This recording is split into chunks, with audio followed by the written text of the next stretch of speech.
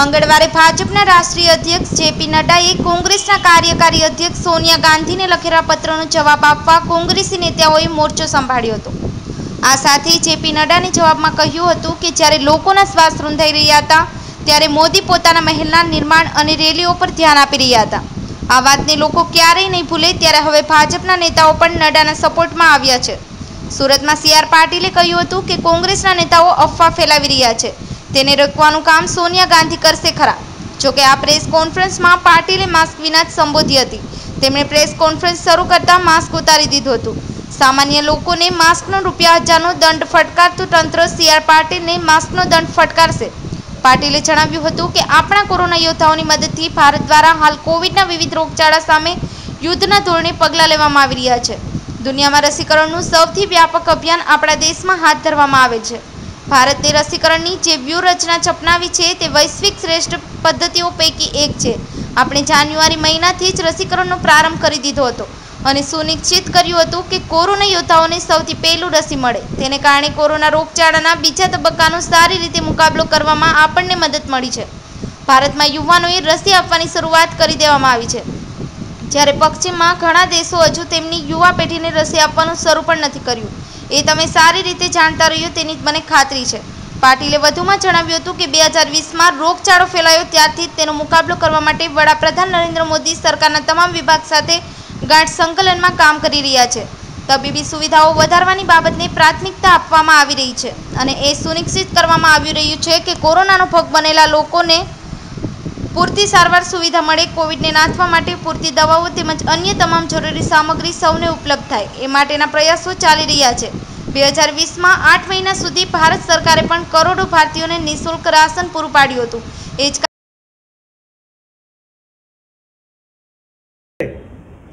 અફવાઓ ફેલાવી, લોકોના મનમાં ભ્રમ પેદા કરવો શંકા ઊભી કરીને વૈજ્ઞાનિકોનું અપમાન કરવું અને આજે જ્યારે આ જ રસીકરણને કારણે, આ જ વેક્સિનને કારણે ખૂબ સારા પરિણામ આપણને જોવા મળી રહ્યા છે, ત્યારે ફરીથી અઢારથી ચુમ્માલીસ વર્ષ સુધીના લોકોને રસી આપવા માટેનો જે કાર્યક્રમ થયો છે, તે લોમાં ઉત્સાહભેર લોકો હવે ભાગ લઈ રહ્યા છે. તો આ અમારા આદરણીય રાષ્ટ્રીય અધ્યક્ષ જેપી નડ્ડાજીએ આ કોરોનાના કાળની અંદર કોંગ્રેસના રાષ્ટ્રીય અધ્યક્ષ શ્રીમતી સોનિયા ગાંધીને પ્રશ્નો કર્યા છે. કે તમે આ સમયમાં ક્યાં ઊભા છો? આ સમસ્યાની સાથે તમે લોકોની સાથે છો, સરકારની સાથે છો કે કેમ? સરકાર આવું સારું કામ કરી રહ્યું છે અને તમારી જે રાજ્યોમાં સરકારો છે, એ પણ આ રીતે કામ કરવા માટેની તમે સૂચના આપશો કે કેમ? મને લાગે છે કે હજુ સુધી ગઈકાલના પત્રનો કોઈ જવાબ કોંગ્રેસ તરફથી કે સોનિયા ગાંધીજી તરફથી આવ્યો નથી. આશા છે કે એમનો પોઝિટિવ જવાબ આ બાબતમાં આવે. અને જે સરસ કામ ચાલી રહ્યું છે અને આવા કપડાકાળની અંદર બધા સાથે મળીને, ત્યારે એક એક નાગરિક, એક એક એક સમાજસેવી સંસ્થાઓ, એનજીઓ, અલગ અલગ લોકો, ધાર્મિક સંસ્થાઓ, દરેક લોકો પોતાના પરે જે કંઈ થઈ શકતું હોય એ કરવા માટેના પ્રયત્નમાં લાગ્યા છે. પહેલો સમય હતો કે પહેલાં કોરોનાના કાળની અંદર ફક્ત ફૂડ પેકેટ અને અનાજના કીટની જરૂરિયાત પડી હતી. આખા દેશના લોકોએ એમાં પોતાની થતી દરેક જગ્યાએ બધાએ મદદ નોંધાવી. બીજા લેયરની અંદર આપણને હોસ્પિટલમાં બેડ, રેમડેસિવિર ઇન્જેક્શન અને ઓક્સિજનની જરૂરિયાત ઊભી થઈ. અચાનક આ ઊભી થયેલી જરૂરિયાતને પણ પહોંચી વળવા માટે આદરણીય પ્રધાનમંત્રી શ્રી મોદી સાહેબે ખૂબ સારા પગલાં લીધા.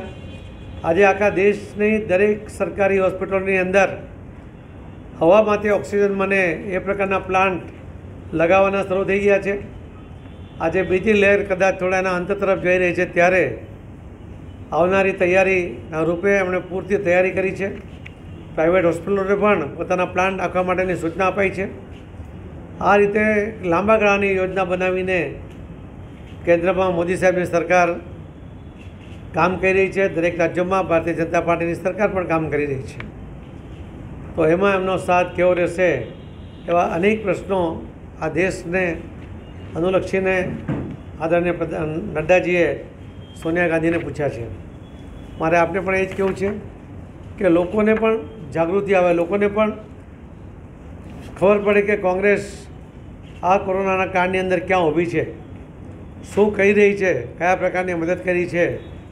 એની માહિતી મળે અને એટલા માટે આપના માધ્યમથી આજે આપણે આ પ્રેસ કરવાનું નક્કી કર્યું.